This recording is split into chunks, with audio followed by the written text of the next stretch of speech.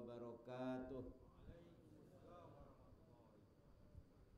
الحمد لله الحمد لله الذي فرض علينا تعلم شرائع الإسلام ومعرفة صحيح المعاملة وفاسدها للتفريق بين الحلال والحرام Asyhadu an la ilaha illallah wahdahu la syarika la Ar-Rabbur Rahimur Rahman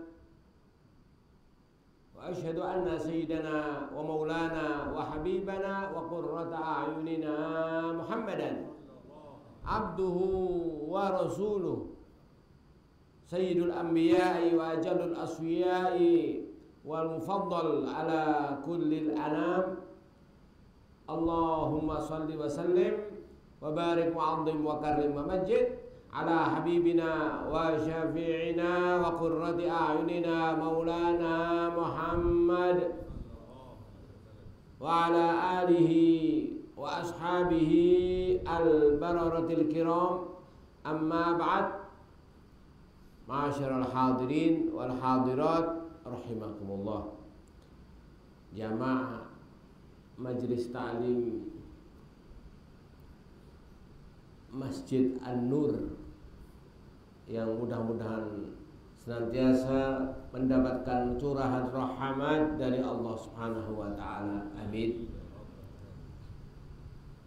Begitu pula pengurus takmir eh, masjid An-Nur yang merupakan masjid yang tertua di uh, Melaka sini yang mudah-mudahan Allah Subhanahu wa taala memberikan akan uh, inayahnya, riayahnya, riayahnya sehingga menjaga akan Baitullah maka dipastikan tergolong daripada mereka-mereka yang kelak dikumpulkan oleh Allah bahkan diberi naungan ditenangkan oleh Allah yaumul qiyamah sementara manusia yang lain dalam kebingungan manusia yang lain dalam uh, hisab Allah Subhanahu wa taala.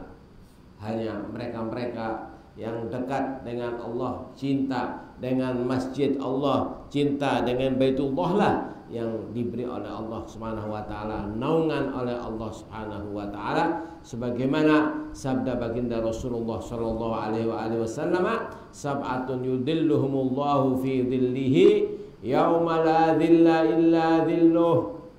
Tujuh golongan ini oleh Allah kelak yaumul qiyamah diberi naungan, ditenangkan hati-hati mereka di saat manusia di saat itu dalam uh, ketidaktenangan dalam hisab Allah dalam ketakutan. Siapa di antara mereka ketujuh golongan tersebut? Di antara ketujuh golongan tersebut yaitu al muta'alliq qalbuhu bil masajid. Atau kama qala Rasulullah sallallahu alaihi wasallam.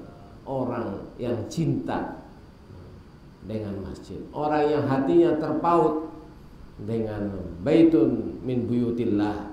Mudah-mudahan kita semua digolongkan pada golongan hamba-hamba Allah Subhanahu wa taala yang setiap saat, setiap waktu hatinya dicintakan dengan rumah Allah Subhanahu wa taala. Amin. Sehingga menjadi mereka-mereka yang kelak kalau manusia-manusia lainnya dalam uh, melalui akan uh, asyiratul mustaqim ada yang uh, ada yang jalan tertatih-tatih, ada pula yang jalannya uh, hampir uh, jatuh dari suratul mustaqim, tapi bagi mereka-mereka yang cinta dengan buyutullah justru melampaui suratul mustaqim dengan masjid yang di saat hidupnya ia selalu uh, menghampirinya, selalu berada di masjid, selalu cinta dengan masjid, selalu menghadiri akan majalisul ilm di masjid semacam ini, justru melampaui siratal mustaqim melalui al masjid. Mudah-mudahan kita semua digolongkan pada golongan mereka-mereka. Amin. Allahumma amin. Lebih-lebih ma'asyiral hadirin wal hadirat rahimakumullah.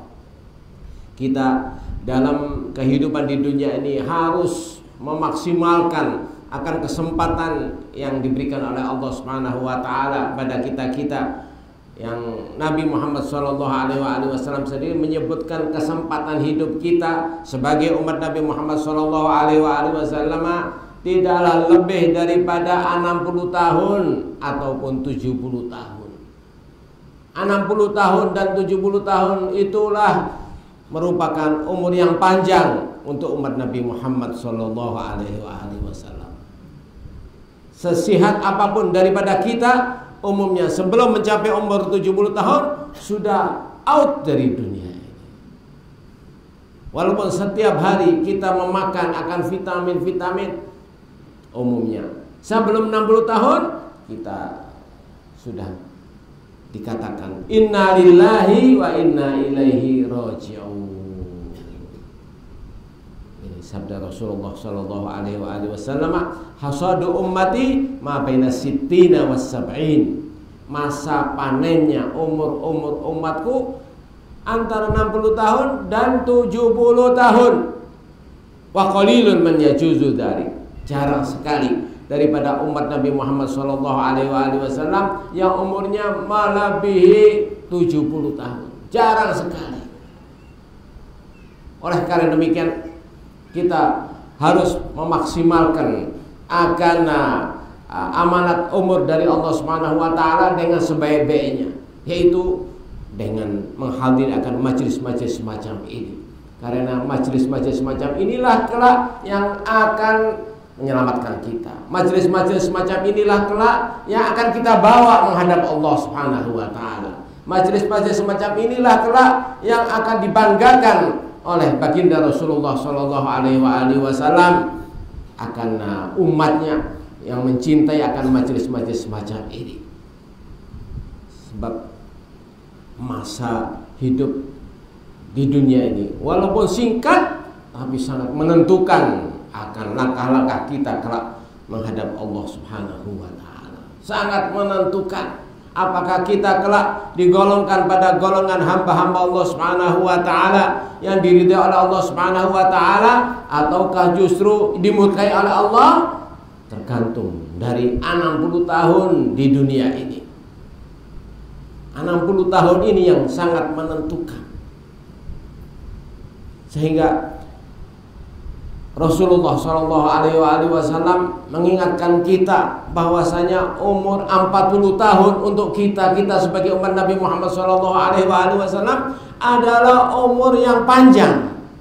Umur 40 tahun umur yang panjang.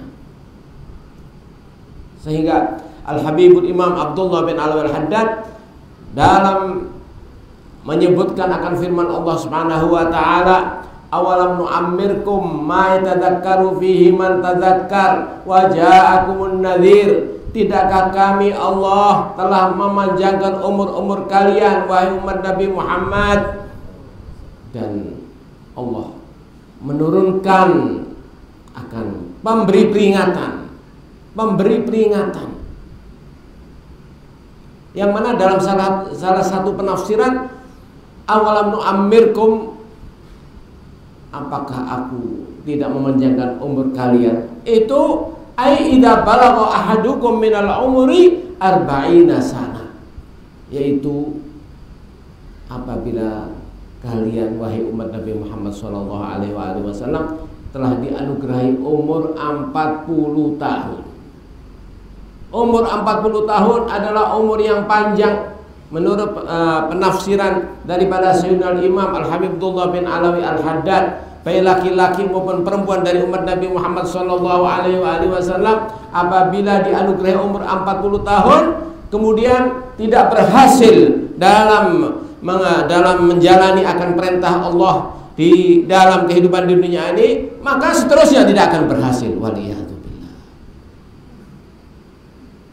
oleh karena demikian Allah Subhanahu wa taala dari rahmatnya pada kita memberikan akan uh, memberikan peringat me, menganugerahkan akan memberi peringatan. Apa itu memberi peringatan? dalam penafsiran uh, Ibn Kathir ay Al-Qur'an, Al-Qur'an. Dan dalam penafsiran uh, Al-Imam uh, As-Sawi yaitu An-Nabiyul Mab'uth. Uh, Rasul yang diutus oleh Allah Subhanahu wa taala yaitu Nabi Muhammad sallallahu alaihi wasallam. Dan dalam penafsiran-penafsiran yang lain yaitu asyib. Asyib. Apa itu asyib? Uban. Ketahuilah uban yang tumbuh di kepala-kepala kita ini adalah anugerah dari Allah Subhanahu wa taala. Kenapa? Pengingat agar kita tidak menyia-nyiakan akan masa walaupun semenit pun tidak dibolehkan untuk kita menyia-nyiakannya. Ini uban anugerah yang teramat besar. Tengok Nabiullah Ibrahim alaihissalam manakala mendapati akan sehelai daripada uban, beliau bertanya kepada Allah, "Ya Rabb, mahal. Apa ini gerangan wahai Allah? Karena warnanya lain daripada yang lain." Dijawab oleh Allah Subhanahu wa taala, "Huwal waqar." Ya Ibrahim, ketahuilah itu penyebab Anda merasa sudah tua sehingga akan lebih memantapkan akan perilaku perbuatan dan ibadah sehingga menjadi orang yang haris, harismatik. Ini uban anugerah. Apa yang dilakukan oleh Nabiullah Ibrahim alaihissalam apakah beliau menangis karena sudah tua? Tidak, malahan mengangkat tangannya tinggi-tinggi dan meminta tambahan akan uban. Allahumma zidni waqaran. Kalau itu uban pemberi peringatan akan diriku agar aku tidak menyia-nyiakan akan masaku, waktuku, umurku, maka ya Rob perbanyaklah akan uban. Ini gambaran hamba yang sadar akan anugerah umur Bagaimana dengan kita-kita? Kebanyakan daripada kita-kita tidak menyadari akan misi mulia kita dihidupkan di dunia ini. Buktinya menganggap yang namanya uban adalah penghalang daripada kehidupan. Ini adalah gambaran daripada manusia yang tidak menyadari akan misi mulia dihidupkan di dunia yaitu untuk memantapkan akan ketaatan untuk memaksimalkan akan masa-masanya, waktu-waktunya untuk beribadah sehingga menjadi mereka-mereka yang min ahli salama fidarain yang selamat di dunia dan di akhirat. Ini berkat kesadaran bahwa uban adalah merupakan anugerah dari Allah Subhanahu wa taala. Oleh karena demikian, hendaknya kita benar-benar mulai detik ini mensyukuri akan anugerah uban dengan artian yaitu kita menyadarkan nafsu-nafsu kita bahwa kita tidak mudah lagi sehingga kita akan lebih meningkatkan akan ibadah kita. Kita akan lebih memaksimalkan akan kesempatan masa untuk beribadah dan beribadah sehingga kelak menjadi mereka-mereka yang selamat sukses di dunia wal akhirah. 40 tahun untuk kita kita sebagai umat Nabi Muhammad Shallallahu Alaihi Wasallam adalah umur yang panjang. Diibaratkan oleh Al Imam Al Ghazali apabila umat Nabi Muhammad Shallallahu Alaihi Wasallam baik laki-laki maupun perempuan telah mencapai umur 40 tahun itu sama dengan orang yang mendaki akan suatu bukit sama dengan orang yang mendaki akan gunung. Bagaimana? Apabila seseorang mendaki akan gunung kemudian sampai di puncaknya, apakah ia akan meningkat lagi? Apakah ia akan mendaki lagi? Tidak, pasti ia akan menuruninya. Begitulah hakikat daripada umat Nabi Muhammad SAW yang telah diberi umur 40 tahun. Maka Selepas 40 tahun walaupun satu menit ini adalah merupakan anugerah yang teramat besar. yang tidak bisa dibeli dengan harta, tidak bisa dibeli dengan dunia dan seisi pun, uh, seisinya pun 40 tahun lebih satu menit.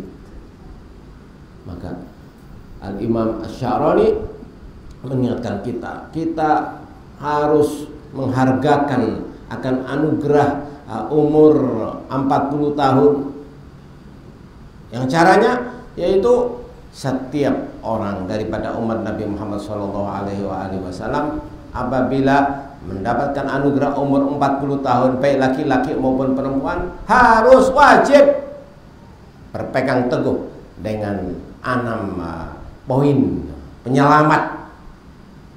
Apa keenam poin penyelamat tersebut? Yang satu an yatwiya firasyahu wa alla yanama illa ghalaba. Apabila seseorang dari umat Nabi Muhammad Shallallahu Alaihi Wasallam baik laki-laki maupun perempuan telah mencapai umur 60 40 tahun maka harus cepat-cepat mengikat akan uh, tilamnya. Erat-erat.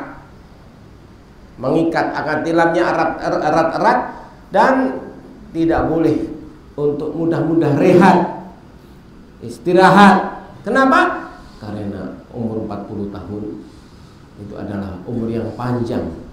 Sehingga disebutkan dalam riwayat yang lain apabila umat Nabi Muhammad Wasallam telah mencapai umur 40 tahun maka antara dirinya dengan uh, kubur dengan liang kubur itu hanya satu jengkal.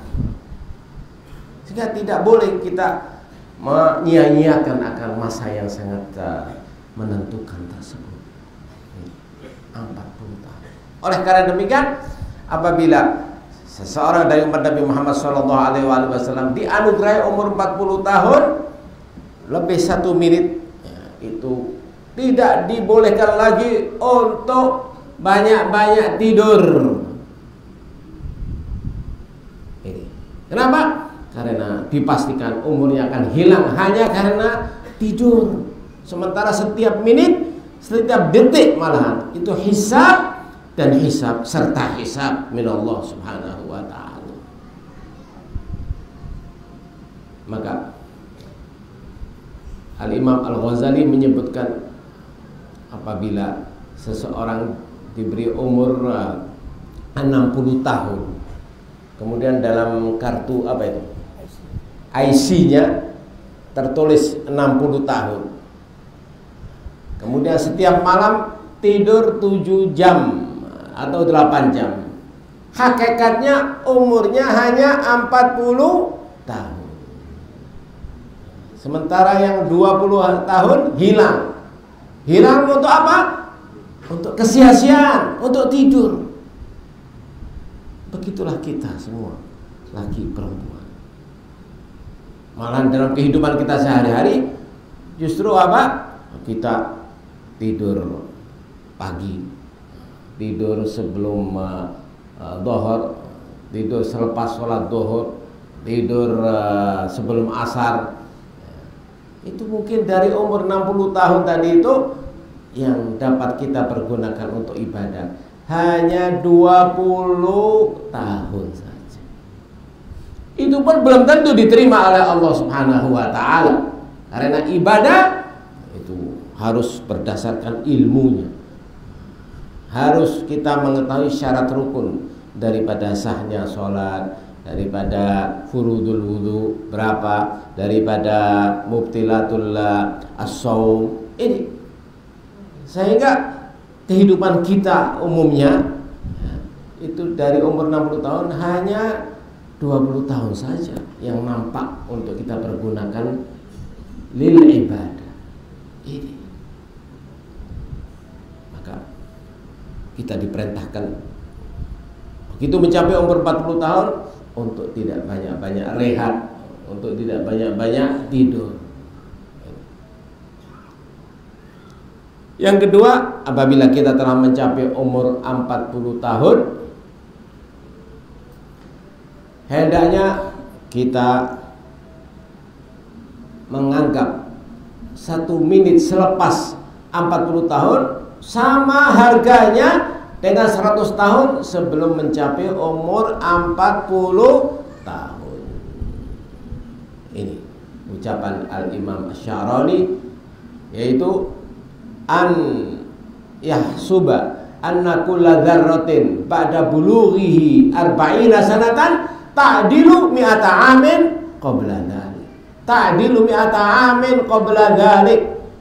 Apabila umat Nabi Muhammad Shallallahu Alaihi Wasallam baik laki-laki maupun perempuan dianugerahi umur 40 tahun kemudian lebih satu menit wajib menghargakan satu menit selepas 40 tahun sama harganya dengan 100 tahun sebelum ia mencapai umur 40 tahun.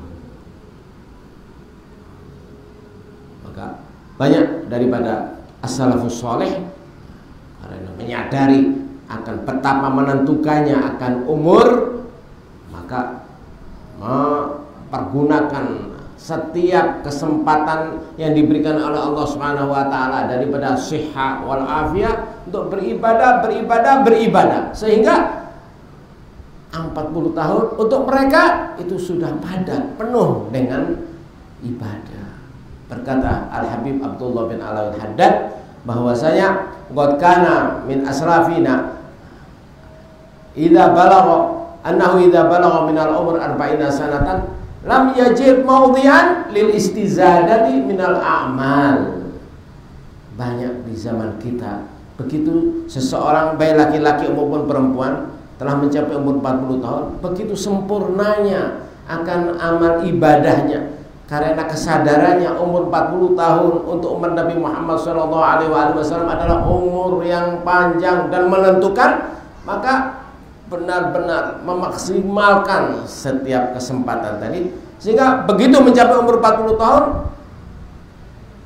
begitu sempurnanya yang pergunakan akan waktunya umurnya saatnya sehingga seakan-akan tidak ada lagi tempat untuk meletakkan akan ibadah. Begitu sempurnanya memaksimalkan anugerah umur 40 tahun sudah apa siap dengan kematian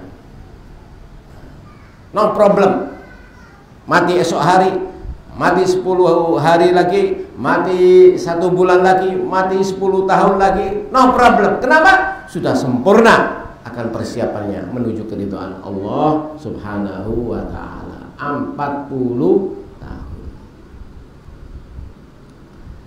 Dan yang ketiga, wan ya taqida annahu musafirun ila Allah fi kulli nafas. Wa ya'taqida. Begitu mencapai umur 40 tahun harus meyakini memantapkan i'tiqadnya bahwa dirinya sekarang walaupun sihat wal afiat walaupun ia bersama anak istrinya walaupun ia di dalam rumah hakikatnya ia sudah di luar rumah sudah berada di persimpangan jalan untuk menuju akan keridhaan Allah Subhanahu wa taala. 40 tahun. Maka Al-Imam Asy-Syafi'i radhiyallahu an imam dari imam kita itu begitu mencapai umur 40 tahun mendadak beliau memakai tongkat memakai tongkat sehingga hal tersebut menjadikan akan murid-muridnya pada bertanya, kenapa? Ya ayuhal imam, kenapa anda mendadak pada hari ini memakai tongkat? Limadha tasta'milul asa fi hadzal yawm? Dijawab oleh beliau Al-Imam Al-Ghazali Asy-Syafi'i, "Ilamu bi anil yawm qad balagtu minal umuri arba'ina sanatan wa asta'mil hadhil asaya li biha nafsi." Ketahuilah wahai para pecinta-pecintaku Ketahuilah wahai para murid-muridku Pada hari ini genap umurku 40 tahun. Maka aku sengaja memakai tongkat Untuk mengingatkan akan nafsuku Bahwa aku tidak muda lagi.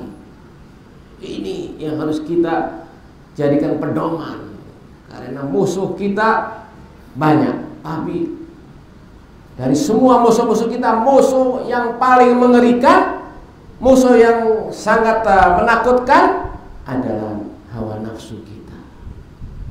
Nabi telah bersabda dalam hadis uh, Ibn Majah, "Inna ada aduwika nafsuka allati baina jambaik." Musuh-musuh kalian banyak, tapi musuh yang paling berbahaya yaitu nafsumu yang ada pada dirimu. Ini.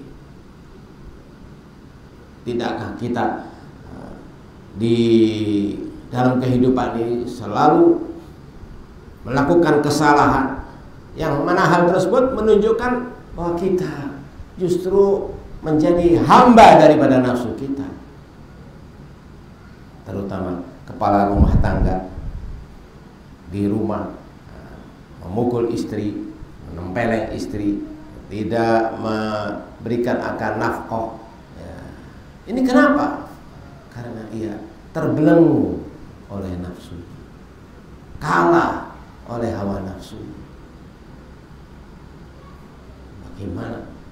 Tidak mengerikan. Kenapa? Karena nafsu itu musuh yang lain daripada yang lain. Kalau musuh kita manusia, kita dapat melihatnya. Tapi yang namanya nafsu, kita tak dapat melihatnya. Sampai mati pun kita tak akan mampu melihat akan nafsu kita.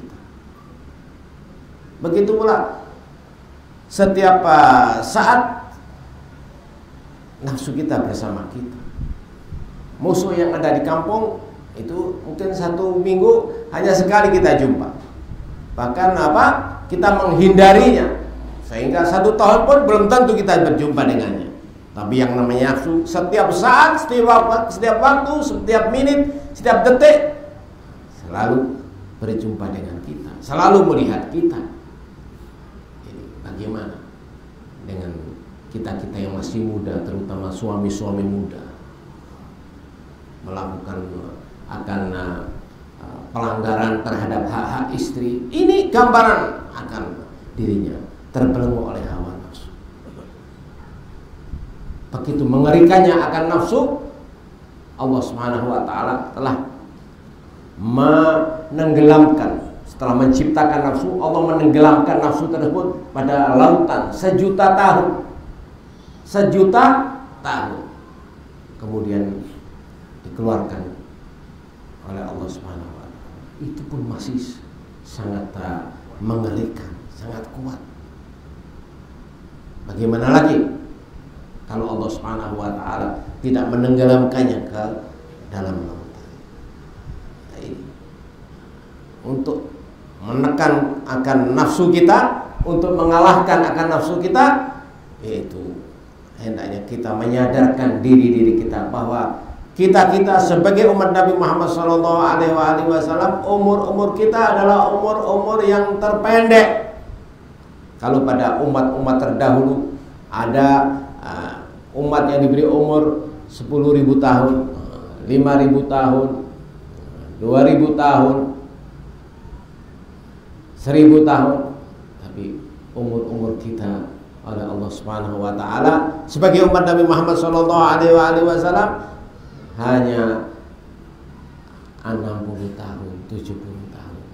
40 tahun adalah umur yang panjang. Tujuannya untuk kita jadikan senjata untuk mengalahkan musuh yang sangat mengerikan. Yaitu setiap saat, setiap waktu kita harus menyadarkan diri diri kita kita telah mencapai umur 50 tahun, 60 tahun. Tidak mudah lagi. Sudahkah persiapan kita siapkan? Ini pasti akan timbul eh, kesadaran. Apalagi Allah Subhanahu wa taala telah mengkhususkan malaikat untuk meneriaki setiap ibn Adam baik laki-laki maupun perempuan begitu fajar menyingsing ya man balagha minal umri arba'ina sana. Hal ista'adaita bil amal as itu malaikat tadi itu meneriaki kita-kita eh wahai yang telah diberi umur 40 tahun sudahkah kamu sudahkah kamu mempersiapkan akan persiapan amal untuk menghadap Allah Subhanahu wa taala Ya man balagha minal umur khamsina sana Mada amilta Wahai yang telah diberi umur 50 tahun Apa yang sudah kalian siapkan? Sholatmu bagaimana? Ibadahmu bagaimana? Sudahkah kamu melakukan uh, sholat dengan istri anak berjamaah? Ini setiap fajar menyingsing. Bahkan umur 60 tahun uh, bahkan sebagai uh, malaikat meneriaki ya man balagha minal umur sittina sana. Antum zar'un qaddana hasadu. Wahai kalian yang telah diberi umur 60 tahun. Kalian ini begitu dekatnya dengan kematian buah yang masa siap untuk dimakan itulah umur 60 tahun Kenapa kita tidak mendengarnya? Karena kita punya telinga sudah tertutup oleh syahwat. Hati kita tertutup oleh hawa nafsu karena kita lebih tunduk pada nafsu-nafsu kita. Waliyadzubillah. Maka Allah Subhanahu wa taala sengaja melalui baginda Nabi Muhammad SAW pada setiap momen Nabi mengingatkan kita, wahai umatku kalian tidaklah sama dengan umat-umat yang lain. Umur-umur kalian walaupun sihat tidak melebihi 60 tahun, 70 tahun. Ingat ini. Ambil manfaat, sadarkan diri kalian. Begitu. Peringatan daripada Nabi Rahman. Begitu peringatan dari Nabi wa ma arsalnaka illa rahmatan lil alamin. Dan yang keempat wa an la yafraha biwadhifah. Begitu kita mencapai umur 40 tahun, tidak dibenarkan oleh Allah dan Rasulnya untuk kita masih berebut dengan kedudukan. Umur 40 tahun untuk mengurusi diri saja tak bisa. Apalagi ikut pemilihan raya untuk siapa itu? Untuk mengurusi dirinya, untuk menanggung dirinya dari hisab yang kiamat tidak mampu. Bagaimana ia mengurusi orang lain? Gambaran daripada manusia yang matinya suul khotimah. Umur 40 tahun masih berebut akan pemilihan raya.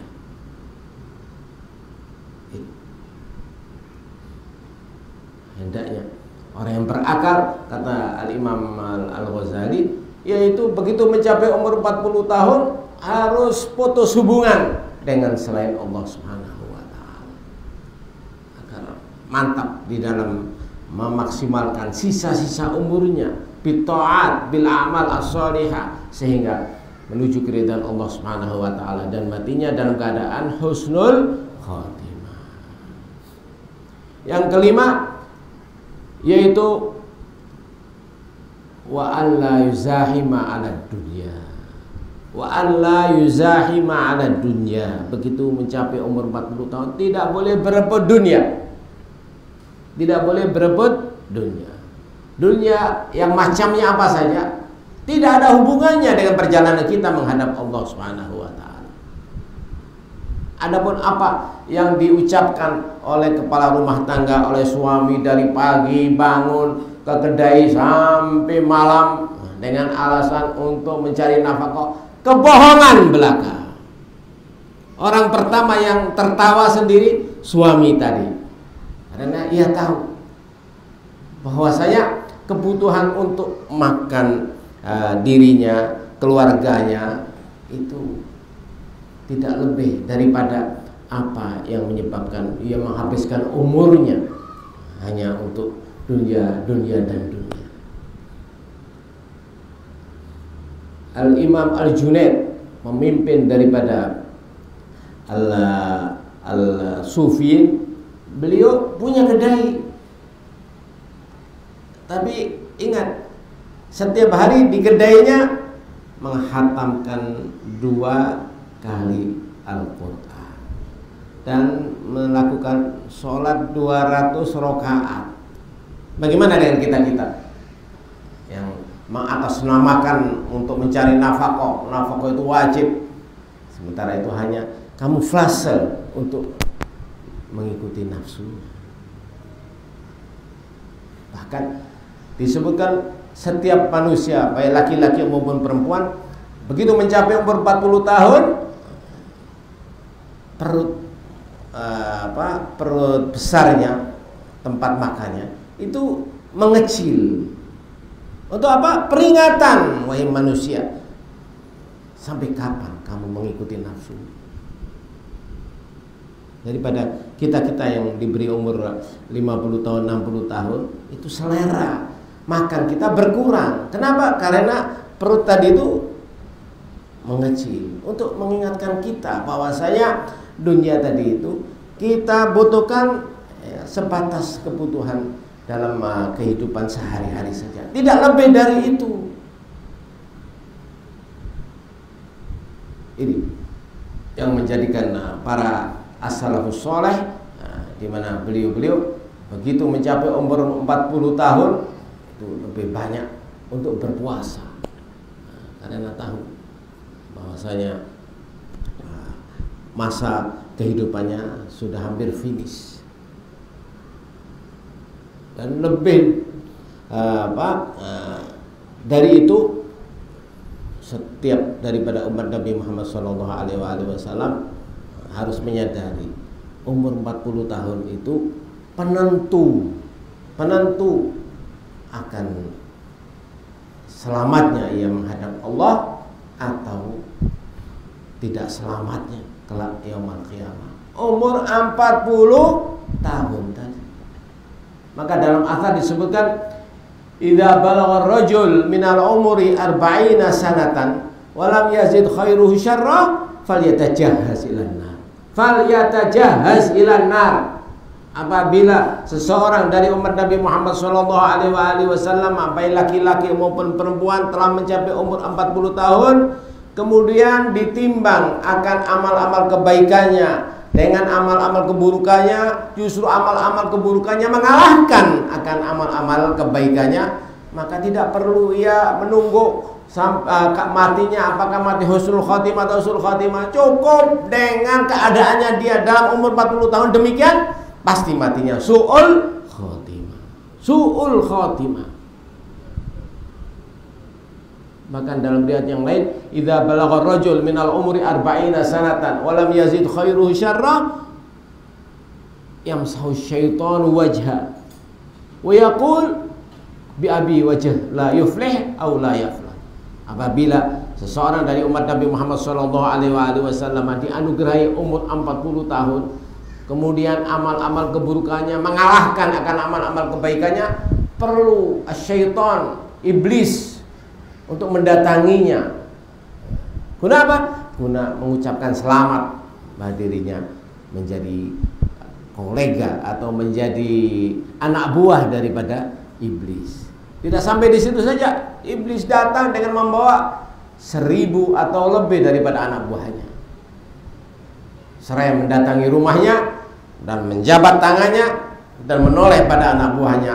Eh ketahuilah muka semacam ini muka yang tidak selamat 40 tahun. Makanya kita diperintahkan oleh baginda Rasulullah Shallallahu Alaihi Wasallam untuk pintar-pintar menjaga anugerah umur sehingga uh, banyak daripada hadis-hadis yang mengingatkan kita. Antara lain hadis ya, yang mengingatkan agar kita begitu diberi oleh Allah Subhanahu wa taala kesempatan untuk me melakukan akan ibadah diberi kesehatan oleh Allah Subhanahu wa taala. Hendaknya bersegera melakukannya. Jangan menunda nundanya lebih dari 20 hadis badiru bil amal. Bersegeralah kalian untuk melakukan amal kebaikan. Dalam hadis eh, Bukhari badiru bil amal. Tanan ka qita'il lailil mudlim. Yusbihu ar-rajul mu'minan wa yumsi kafira wa yumsi mu'minan wa yusbihu kafira yabi'u dinahu bi dunya qalil. Bersegeralah kalian untuk melakukan al-amal as-solihah, kebaikan, ketaatan sebelum tibanya fitnah yang uh, sangat besar diibaratkan awan yang mengumpul sehingga menjadikan uh, dunia ini gelap begitulah fitnah yang siap untuk menerkam kita begitulah fitnah-fitnah di akhir zaman yang siap untuk membinasakan umat manusia.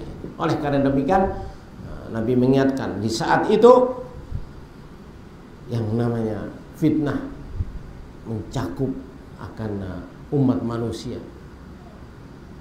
sehingga tidak sedikit daripada umat Nabi Muhammad SAW di waktu, eh, di waktu pagi dalam keadaan beriman belum tiba waktu malam di saat petang sudah menjadi kafir.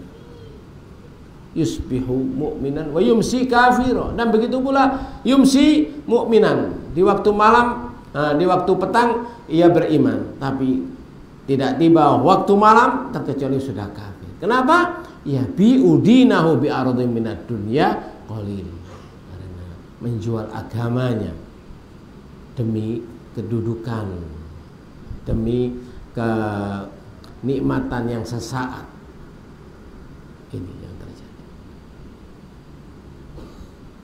maka mudah-mudahan dengan adanya majelis semacam ini Allah Subhanahu wa taala menjadikan kita daripada mereka-mereka yang terketuk hatinya sehingga menjadi sadar sehingga menjadikan sisa-sisa daripada umur-umur kita untuk ibadah. Sisa-sisa daripada masa-masa kita untuk takarrub kepada Allah Subhanahu wa taala. Sisa-sisa daripada umur-umur kita untuk mengarahkan akan anak-anak kita istri-istri kita untuk menjadi umat Nabi Muhammad Sallallahu Alaihi Wasallam yang kelak diridhoi oleh Nabi Muhammad Sallallahu Alaihi Wasallam yang kelak diaku sebagai umat Nabi Muhammad Sallallahu Alaihi Wasallam yang kelak mendapatkan syafaat dari baginda Rasulullah Sallallahu Alaihi Wasallam. Allahumma inna nas'aluka ya Allah ya sami'ad du'a ya mujibad da'awat ya qadil hajat. Inna nas'aluka ya Allah bi an tandur ilaina bi ainil qabul. Allahumma andur ilaina wa ila auladina wa ila zaujatina wa ila banatina bi ainir ridha. Ma'a kamali as-salah wal falah wan najah hatta yakuna auladuna min ahlil khair wa tatakuna dzurriyyatuna min ahli shalah wa tatakuna zaujatuna min ahli ta'ah bi jahi Nabi Muhammad sallallahu alaihi wa alihi wasallam sayyidi sada. Allahumma inna nas'aluka bi barakat hadzal majlisil mubarak an tandur ilaina bi ainir rahmah wa an tunzila alaina ar-rahmat hatta nakuna min ahli rahmah wa tusabir alaina bi rahmatik wa bi bi ridha habibikal azam sayyidina Muhammad. صلى الله عليه وآله وسلم اللهم إنا نسألك يا الله يا سميع الدعاء إنا نسألك بحق النبي محمد صلى الله عليه وآله وسلم وبحق العارفين المحبوبين المخصوصين المحفوظين الممنوحين كنوز جواهر الأسماء الفاخرة المقتبسين أنوار شموش الشاهرة المضطرين في حضراتها القاهرة الفرحين المكسين بخلاء جمالات العاطرة التي أشهدت بصائر قلوبهم قبضتك المحيطة بالوجود وكشفت لهم عن عرائس أفكار حقائق رقائق الأسماء المحركة لكل موجود حتى تحققوا بحقائق الفقر والافتقار وغرقوا في بحور الاضطرار kisar. Faraja'u kulliyatihim ilaika fi jamil umuri wal ahwal. Wa ya Allah ya Allah ya sami'ad du'a ya mujibad da'awat. Inna nas'aluka anta taj'alana min ahli hadal majlis wa ma anta taj'alana min ahli uh, min ahli هذه هذا المجلس المبارك وأن توفق أولادنا وبناتنا وزوجاتنا للحضور في هذا المجلس المبارك حتى نكون من خيار أمة النبي محمد وتنكون من خيار القائمين عن النبي محمد حتى نكون من خيار النائبين عن النبي محمد. مع كمال الصحة والعافية وطول العمر عن المضافية ونسألك أن تجعل أولادنا بناتنا من أهل بر الوالدين ومن أهل طاعة الأبوين بجاه النبي محمد سيد الكونين وصلى الله على سيدنا محمد وعلى آله وصحبه وسلم الحمد لله رب العالمين الفاتحة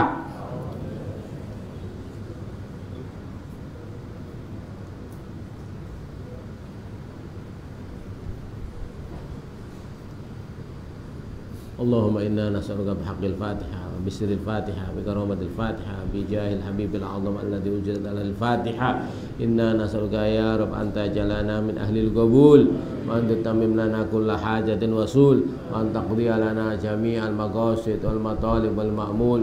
واربطنا يا رب بأوليائنا بزهادنا بأتقيائنا بأسلافنا بمشايخنا بشيوخنا الرجال الفحول. بجاه النبي محمد طه الرسول وأبي البتول وصلى الله على سيدنا محمد وعلى آله وصحبه وسلم الحمد لله رب العالمين.